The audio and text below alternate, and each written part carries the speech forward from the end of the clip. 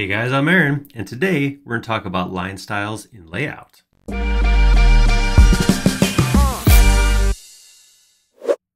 So this video is actually a follow-up video to a request we had on a previous video. Previously, we did a little section, a little video on uh, line styles in SketchUp. When you create a tag, you can attribute a different line style to it. So that can be solid. By default, it's just a solid line. But if you want to, you can actually go in and say everything on this tag gets a certain kind of line style, like dashed or whatever. Uh, and the question came up, what happens when you get to LayOut? So that's what this is. We're going to talk about taking that model. It's actually the exact same model that we used in the previous video. We're going to take it right into LayOut right now and see what we can do with it. So let's check it out. All right, so this is that model. This is the model we used. We talked about, uh, you know, adding some walkways, and this particular scene was about these, uh, you know, call outs areas. I don't know what you'd call it. Whatever, whatever all this is, where I have some lines here specifying different locations, that kind of thing. What we really want to look at is just these dashed lines and see how, what they are, how they work, and what we can control once we get into LayOut. So first thing I'm gonna do, I'm just gonna, just to make this simpler, right now we are in this model's drawn as a raster. So if I zoom in close in here like this, you can see that uh, this is pretty low quality. And since we're sitting here talking about line styles, I figure we should probably up that uh, that value or that that uh, quality a little bit. So what I'm gonna do is I'm just with this model with this this uh, model window open. I'm just gonna come in here and change it from raster to hybrid. That's of course going to change how all edges are drawn to actually vector drawn edges, but then it's going to keep our materials from the raster, which is what that the hybrid does, as opposed to just going to a straight raster image, which would give us nice clean lines, but then also flat single colors. So there we go. We got that. So now if I zoom in here, can see, see those edges are nice and crisp no matter how I look at them. This uh, right down here, same thing. We have some edges we drew. So you can see, so right off the bat, you can see that the edges we brought in with the tags show up exactly like they did in SketchUp. So there's not a big difference right now. If I come over here to, again, the, the model window is still selected. If I come to this very bottom option, I have tags. If I drop that down, very similar to what we see in SketchUp, I have the ability to toggle a tag on and off, and then I can also change the line style. So in this case, uh, if we go to our outline and drop that down, I can see I can change it from dashes to, you know, maybe a, a tight dash like that, whereas dash dot dash before, and I could click OK. And it does take just a second here. It's instantaneous in SketchUp, but in this case, it does have to go through and re-render the entire window when we make changes like this. So just a second or two, and then that new one will pop up. And there we go. Uh, just like I said, nice tight dash. So you can see it's pretty simple, works just the exact same way that it did in SketchUp. But because we are inside LayOut, we have some more options. Um, on in SketchUp, all edges are the same size. They're all relative to the setting that you put in. There's one setting for edge style, uh, and that's it. And we have the ability to do things like profiles, that kind of thing. But for the most part, when we think about edge width, it's all set. Um, remember that SketchUp is like modeling something in the real world in 3D. The two surfaces meet. There's, they, they don't actually, an edge is not a thing. You don't see a line show up when you hold two pieces of paper next to each other. Um, so lines are just kind of representative in, in SketchUp. That's why you can actually turn them off and keep modeling just as you would with, with them.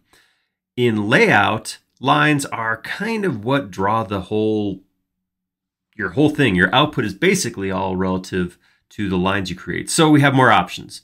So over here, where I have my, my dash, I have the ability to scale and change edge width. So let's, let's go ahead and scale this up to like two and click OK. And again, it is going to have to render uh, every time I make a change. So depending on my render settings, this could go real fast or it could take a second. I have mine set fairly high, so it does take a couple of seconds to render each time I make a change. There we go.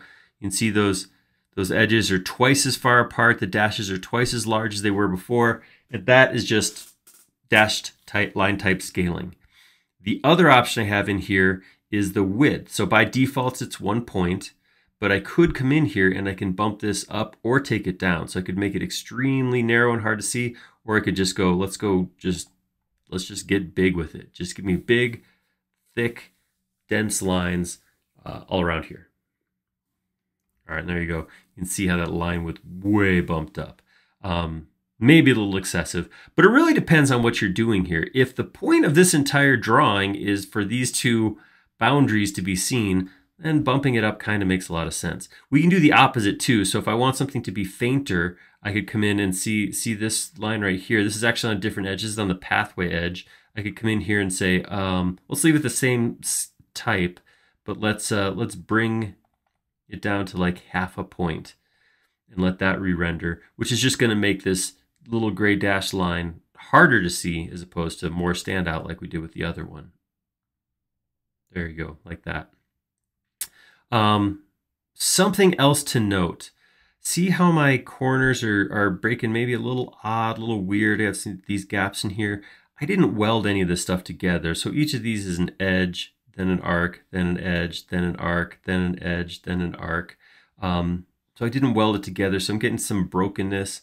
Um, some of that might be improved if I went through and actually welded it all together. It might not look quite as broken unlike some of these, these bigger ones right here. You will notice that because I'm changing the entire tag here, so let's go ahead and let's set this back down to one. And I say, okay, both my red and my blue lines change because both of these lines, both of these chains of lines are on the same tag. It's not a property per line, it's not a property per entity, it's actually a property connected to the tag. So everything on the tag gets the same update, uh, whether, you know, you can I can't come in here and say just change this line, change this one line. It does have to be assigned. So something to note, I can't just come in here and change lines willy-nilly. It does have to be connected to lines uh, that are in tags, edges that are in tags to make those changes. But there you go. That's the amount of control you have over edges and line styles related to tags once you get into LayOut. So first thing I want to do is say thank you for the person who left that comment. I apologize for not having that information available to me. I probably should have ran and grabbed that before I started recording, but now we're here. So thank you so much. Um, appreciate that you asked the question because it gave us another chance to show something and go a little bit deeper than than a lot of answers could. Um, we do like when you ask questions in the the comments. It it a lot of times spawns videos like these or or other. We we realize what you're struggling with or what information you want, and it's really helpful for us. I apologize if you've ever gone up onto the forum and said, please tell me how to do this, this, or this. And the response is, please take that over to our forum and ask there instead of in YouTube comments. Um, sometimes when we start talking about specific models or specific issues you're running into, it's just easier to take it over to a forum where you can upload a picture or actually upload the model to share.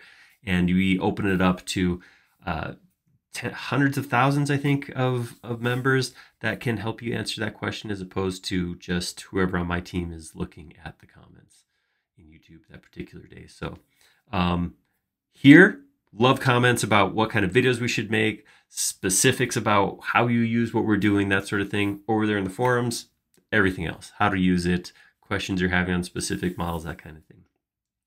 If you like that video, click like down below. And if you haven't already, please do subscribe. We create several videos each and every week and you'll be notified of all of them if you subscribe.